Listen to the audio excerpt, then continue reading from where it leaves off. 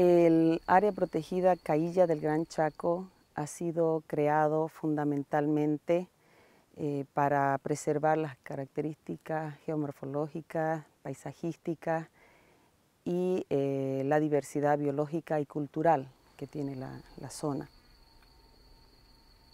Fue creada gracias a la iniciativa de eh, los pueblos indígenas que viven en el entorno del área protegida que son las poblaciones eh, guaraní y soseños, chiquitanos y ayoreodes.